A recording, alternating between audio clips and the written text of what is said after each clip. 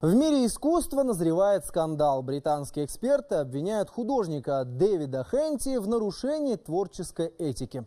Мужчина уже несколько лет зарабатывает на жизнь, продавая через онлайн-аукционы подделки великих мастеров. Подробнее в нашем материале.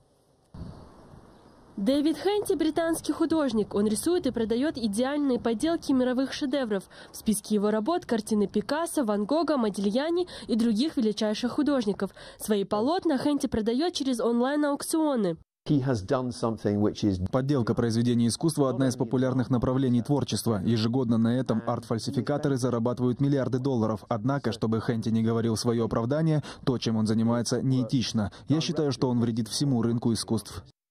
Некогда осужденный за подделку паспортов и номерных знаков арт-фальсификатор свое дело не считает аморальным. Говорит, что его цель – донести высокое искусство до простых людей. Недавно Хенти продал точную копию картины Пабло Пикассо «Женщина Алжира» своему соседу за 8 тысяч долларов. Оригинал же ушел с молотка на аукционе «Кристис» за 146 миллионов долларов.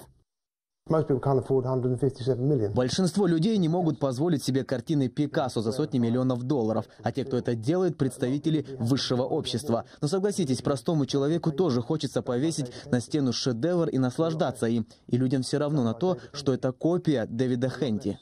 Что бы ни говорили эксперты, лондонцы считают Хенти гением. Вскоре 35 его картин будут выставлены в одной из галерей британской столицы. За свои работы художник планирует выручить не менее 120 тысяч долларов. Асимай Сахиб, Пекпулат Турмаханов, 24 КЗ.